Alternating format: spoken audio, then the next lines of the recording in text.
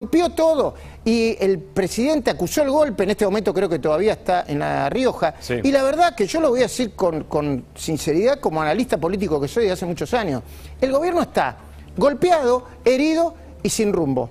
Luis Juez, buenas noches.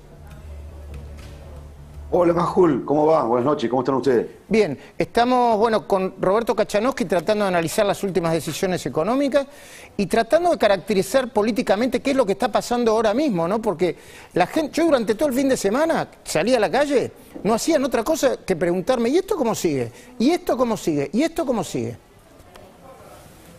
Bueno, lo que pasa es que a esta hora, a esta hora, a esta hora, hace exactamente una semana atrás, eh, festejamos, entre otras cosas, un triunfo arrollador en Córdoba. No pasaron siete días, una semana justo, y el país vivió una convulsión enorme, enorme. Claramente la vicepresidenta tomó el comando, el control de- del manejo del Estado.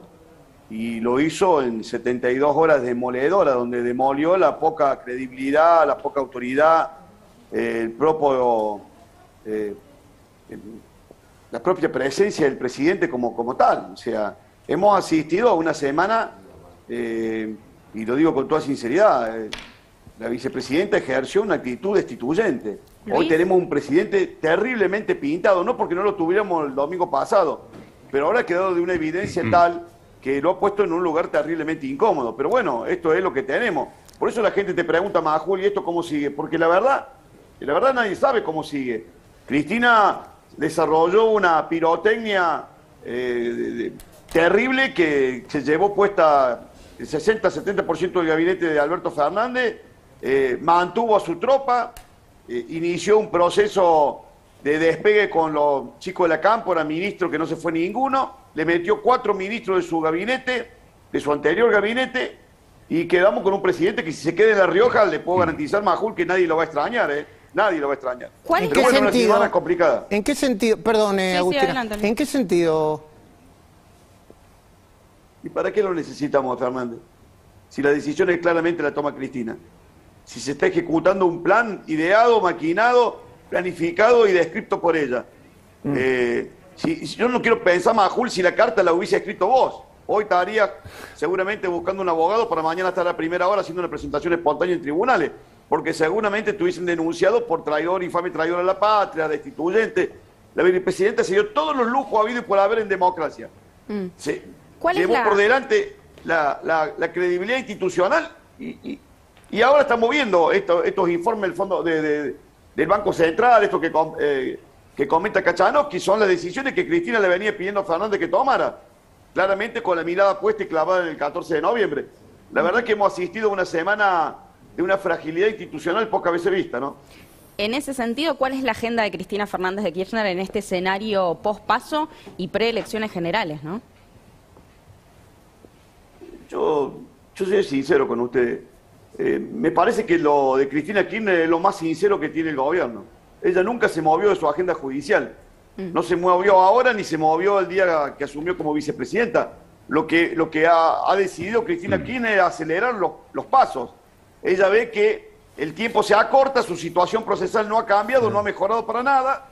Encima tiene una derrota electoral contundente, lo que hace presagiar, ella que es una gran lectora de los movimientos de la justicia, hace presagiar que esos tiempos de la justicia para con ella se van a acelerar. Por eso me parece que la agenda sigue siendo la agenda judicial y la agenda de Cristina, que son Juez, sus temas. Y la vuelta de Aníbal. Fernández, la vuelta de Aníbal Fernández en medio de un, de un clima con problemas de, de inseguridad, avance del narcotráfico, lo que está pasando en el conurbano. ¿Qué significa? ¿Qué es eso eh, en términos políticos? Es la vuelta de un gabinete que, le va a responder decididamente a Cristina Kirchner. Esos cuatro ex ministros de ella hoy tienen mucha más dependencia eh, con Cristina Kirchner que con Alberto Fernández. Alberto Fernández, digámoslo con toda la letra, Cristina le intervino eh, el gabinete a Alberto Fernández. Más los funcionarios que tenía de la Cámpora, que todavía se mantienen en el cargo, más los cuatro ex ministros de ella que le puso, menciónenme a algún funcionario con jerarquía que sea del riñón de Alberto Fernández. Uno, a ver, menciónenme uno. No, eh, perdón, antes de despedirlo a Roberto Kachanowski, seguimos con Luis Juez y la llamamos a Florencia Arieto. Roberto, ¿hay, hay posibilidades de que, de que la economía eh, mm, decir la palabra explote, pero bueno, explote antes de las elecciones, antes del 14 de noviembre. Eso es muy difícil. De... Primero saludo a Luis Juez, eh, un saludo y mis respetos. Y a ver, yo, yo, lo que diría es que esto es una política tipo Nerón, ¿no? Están incendiando Roma. no les importa, o sea, se juegan a todo por el todo por resultar el resultado de esos. Si Roma se incendia, que se incendie Roma. Si se incendia antes de las elecciones o después, solo Dios sabe, lo puedo asegurar, porque eso no lo sabemos. Pero sí sabemos que Roma se va a incendiar. Gracias, Roberto. Gracias por, por compartir con nosotros. ¿eh?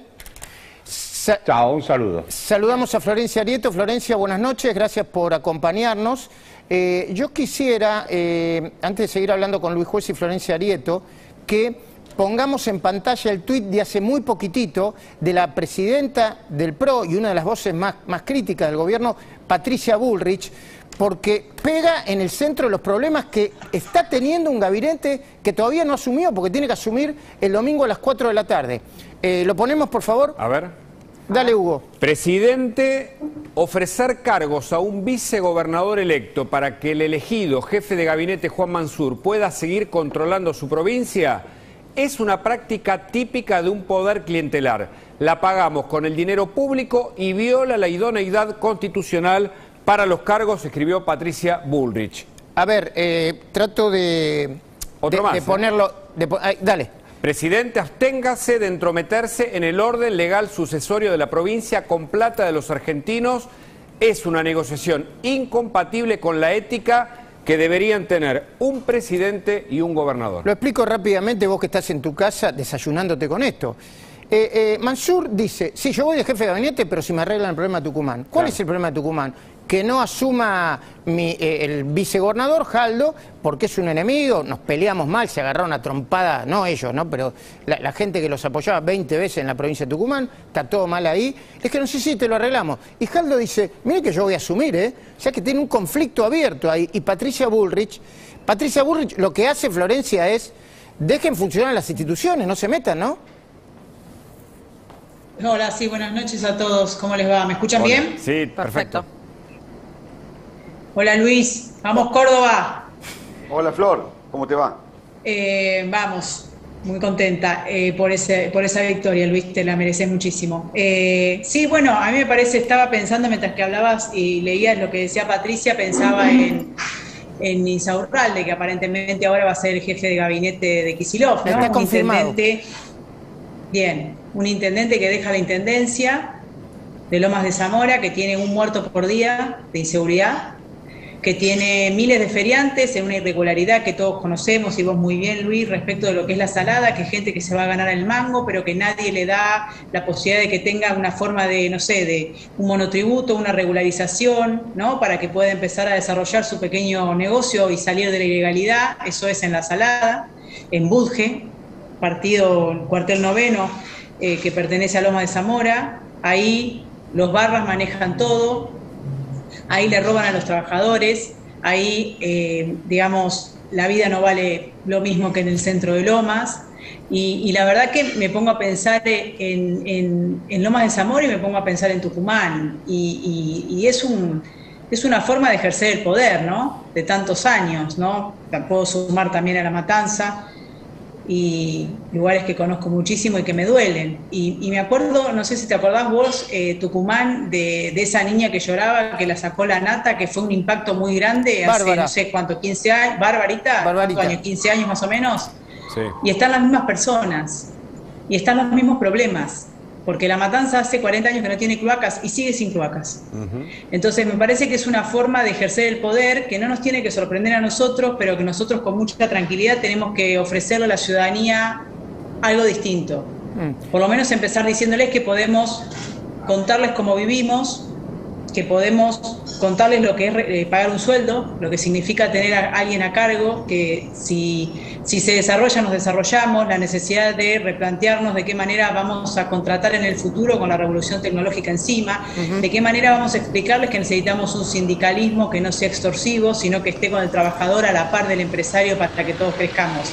Digo, es un poco poner blanco sobre negro lo que hacen ellos en el poder hace más de 20 años. Yo le quería preguntar a juez, porque en mi editorial yo tengo mis hipótesis de por qué Cristina hizo lo lo que hizo. Para mí es una jugada multipropósito, ¿no? Una es que eh, hoy es domingo, todos tendríamos que estar hablando de la derrota, estrepitosa derrota histórica del peronismo, y estamos hablando de los cambios Totalmente. de gabinete. Eh, dos, porque no se quiere hacer cargo ella misma de lo que pasó. Disimula todo esto cuando, a mi entender, pero desde el análisis político, Luis, ¿eh? ella es una de las grandes madres de la derrota, junto con Kisilov en la provincia, junto con Máximo Kirchner y la Cámpora. La Cámpora perdió en todos los distritos de la provincia de Buenos Aires donde compitió. Y en Quilmes sobre todo. ¿no? Y Quilmes, sí, y algunos otros, Mercedes también. Eh, eh, y lo tercero, porque hay que empezar a pensar si, si no está jugando a sacar al presidente. Yo no, no, lo, no, lo, no lo quiero poner como tema de discusión ni adelantar los tiempos, pero embistió contra el presidente y, el presi- y además le pegó psicológicamente en la línea de flotación. ¿Cómo podría haber terminado eso? No lo sé, Luis. Eh, todo eso que, vos planteás, Majul, es absolutamente cierto. Eh, que pueda tener multipropósito.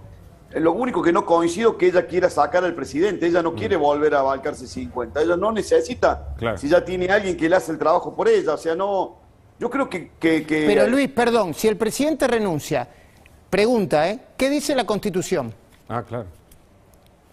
Sí, que ella debería asumir, pero el presidente no va a renunciar, Majul, no, no, no hagamos los ruleros. Hay que conocer cómo funciona el peronismo. El peronismo siempre necesita un idiota útil que haga la tarea, el empleo del mes. Ese es Alberto Fernández. Ya lo tienen, ¿para qué lo van a cambiar? Claro. Para que ellos, si, si ellos tienen ya a quién descargar cada vez que les sale algo mal. Cada vez que hay un problema, Ahora- cada vez que algún, algún plan le fracasa, cada vez que alguna elección la pierde, la culpa de Alberto. Ya lo tienen, tienen alquilado al, al- al empleado del mes. ¿Para qué van a salir a, Mm. a comprarse ellos un problema y a exponerse en primera persona? Ya quedó claro que las decisiones las toma ella, que la agenda es la agenda de ella, que las preocupaciones que ella quiere imponer son las que en definitiva se terminan imponiendo y que el gabinete, entre los que tienen de la cámpora y los viejos ministros de Cristina, el 90% es toda gente que le responde a ella. ¿Para qué va a querer sentarse en el sillón de Rivadavia si estuvo sentada en dos oportunidades? Es muy cómodo lo de Cristina, porque ella nunca de esta manera nunca tiene responsabilidad por nada, siempre la responsabilidad de otro. No, yo no creo que ella esté buscando desplazarlo a Fernández, porque la verdad le resulta terriblemente útil. Mm. Yo eh, le quería preguntar si no hay también una idea ahí de captar la, atención de los gobernadores con esta jugada política para evitar que los gobernadores se vayan justamente a la oposición después del triunfo electoral. No, los gobernadores están muy complicados con la billetera, no se van a ir a ningún lado, van a estar relojeando, inclusive los de las regiones centro, van a estar mirando de reojo a ver qué le pueden sacar. El peronismo funciona así, es una máquina de chantaje permanente. Van a, se van, a- ahora los gobernadores se van a garantizar poder financiar su, su presupuesto de financiado. Claramente, hoy un gobernador que adhiera, que acompañe o que con silencio no diga nada, como el caso de Córdoba. ¿Ustedes han escuchado alguna expresión del gobierno de Córdoba con respecto a este tema? No, ahora eh, nadie habla nada, Perdón, nadie opina. Desde, desde presidencia dijeron que no lo invitaron a La Rioja y desde el gobierno de la provincia de Córdoba dijo, a mí no me invitaron y si me invitaban no iba a ir tampoco. ¿Se sienta afuera? juego- No, son, cara- son dos caras de una misma moneda, Majul. Dos caras de una misma moneda. La campaña ya empezó. Son dos caras de una misma moneda. El kirchnerismo sabe que por más que haga una elección y por más que gaste fortuna y salgan a comprar y salgan con los planes, van a hacer lo, lo indecible. Yo no subestimo el peronismo mucho más cuando está herido y mucho más cuando viene una, una revancha electoral. Así que hay que estar muy atentos. Ahora, los gobernadores, los gobernadores peronistas, en el caso de Córdoba, digo para que estemos atentos, el kirchnerismo sabe que no va a conseguir los diputados que necesitaba o que pensaba que iba a sacar. Entonces ahora va a trabajar con mucha astucia. ¿Qué dijo, qué dijo Alberto Fernández ayer en La Rioja? ¿Qué dijo? Mis candidatos son los candidatos de los gobernadores, dijo. ¿O no dijo eso? Sí. Bueno, estemos atentos porque se va a venir la compra, el toma y daca, la, la salada de la política, donde los tipos van a salir a comprar los diputados y los candidatos senadores que tienen los gobernadores provinciales. Porque con los propios no le fue bien en la elección de las PASO, entonces para la próxima elección, ahora la del 14 de noviembre, hay que estar muy atento, porque cuando vos votés un candidato a diputado de un gobernador peronista de una provincia, le está votando un supuesto o posible aliado del gobierno nacional. Entiendo. Esto también la gente lo tiene que saber. Claro que sí. Eh, en ese sentido, yo ahora le, le quiero preguntar a Florencia Arieto para, para que lo analice. Bueno, el otro día Patricia Burri nos decía, ahora nosotros nos vamos a encargar de ir a los distritos donde hay más clientelismo, donde empiezan a repartir plata a lo loco, para denunciarnos y nos vamos a quedar ahí. No nos va a pasar lo que nos pasó con La Pampa y San Luis, que dieron vuelta al resultado repartiendo plata a lo loco en las pasos de, de hace un par de años. Ahora, yo quería compartir con ustedes este video para mí que resume la, degra- la degradación del frente de todos, lo descompuesto que está el frente de todos. En este video hay dos exministros, un exministro de hace algunos días y otro exministro de hace un ratito, uno que se enteró en México que iba a dejar de ser ministro. Este video es de la campaña 2015, pero es tan fuerte, tan determinante para entender la descomposición del peronismo y el frente de todos que hoy cobra una espectacular vigencia. Mirá. Si vos llamás a la provincia y ves algunos candidatos a gobernador, te preocupás, ¿no es cierto? Yo la verdad que sí, yo la verdad que lo que siento es que la mamá y el papá en la provincia de Buenos Aires que está preocupado por la inseguridad, que está preocupado por los robos, que está preocupado porque se vende droga en el barrio, debería pensar en serio si Aníbal Fernández es la persona para manejar la policía bonaerense, que es manejar el cuidado de nuestros hijos. Cuando apagamos la luz y nos quedamos a solas, pensamos en serio. Bueno, imaginen a Aníbal Fernández conduciendo la provincia.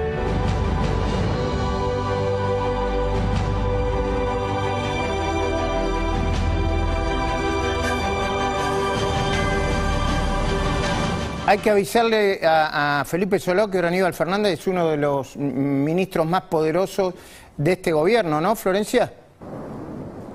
Sí, pero aparte, sumado, me acuerdo muy bien de esa campaña, porque aparte es verdad. Pero yo subí en mi Twitter recién una carta, la contestación de Aníbal Fernández a la carta que le escribió Alberto Fernández a Cristina por el- la muerte de Nisman. Y ahí sí lees, bueno, munición pesada. Eh, a mí me parece que, bueno, que como decís vos, está todo roto y, y lo que están ofreciendo es pasado, ¿no? Hoy la mamá de, de- de Alex Ayala, un muchacho, un peluquero asesinado en Lanús en 2012, escribió una carta en Usina de Justicia, está publicada también, contando lo que le afectó a una mamá de un, de un hijo asesinado por la inseguridad, que el ministro diga que la seguridad, la inseguridad es una sensación, ¿no? Con esa, con ese desdén y esa falta de respeto eh, característica de Aníbal Fernández, porque aparte es co- cobarde, ¿no? No discute de frente, descalifica y mm, cuando pasó lo de la efedrina, donde se quintuplicó las toneladas que se vendían a México para proveer de, de insumos a los carteles. Él era ministro del Interior, manejaba las fuerzas de seguridad y el Cedronar y después fue jefe de gabinete cuando todo eso explotó. Así que todavía tiene algo para explicarle a la ciudadanía, pero bueno, en el panorama de la coyuntura este, política es, es pasado, ¿no? Es encontrar Entiendo. la desesperación. Igual yo no creo que Alberto sea víctima, ¿eh? No, no, no, eh, no, no, claro que sí. En editorial va a, estar, ahí va- va a estar muy claro. Yo les pido que se queden unos segundos, por favor. Barrida, gracias por el pase especial domingo. Seguimos con la cornisa. Hasta Conversamos un ratito más con eh, Luis Juez y Florencia Arieto, si no se molestan. me- eh, no se van a molestar, Dicen seguro. Ya llegaron a la cornisa Federico Andajasi, Silvina Martínez, Luis Gasulla. Barrida y arranca la cornisa, dale.